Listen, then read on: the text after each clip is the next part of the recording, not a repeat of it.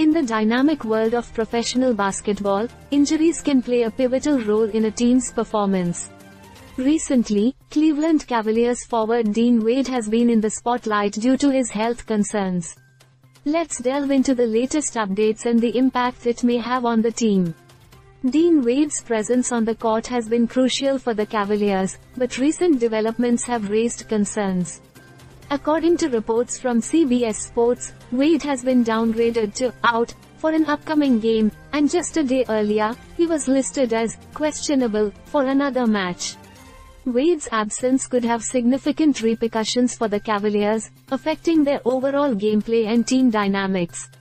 Analyzing his role on the court and contributions to the team will provide insights into how the Cavaliers might adapt to his absence. Dean Wade, known for his versatility, has been an asset for the Cavaliers. His ability to score from beyond the arc, rebound effectively, and play solid defense has made him a valuable player in the rotation. Without him, the team might face challenges in maintaining the same level of performance. In the absence of Dean Wade, the Cavaliers may need to make strategic adjustments to their lineup and playing style.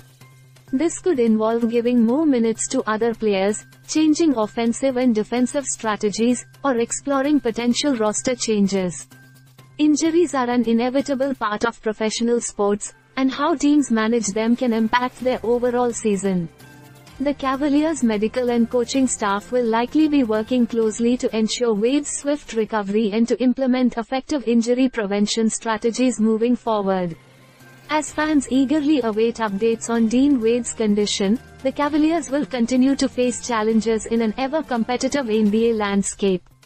The resilience of the team and their ability to adapt to unforeseen circumstances will be essential in maintaining their momentum throughout the season.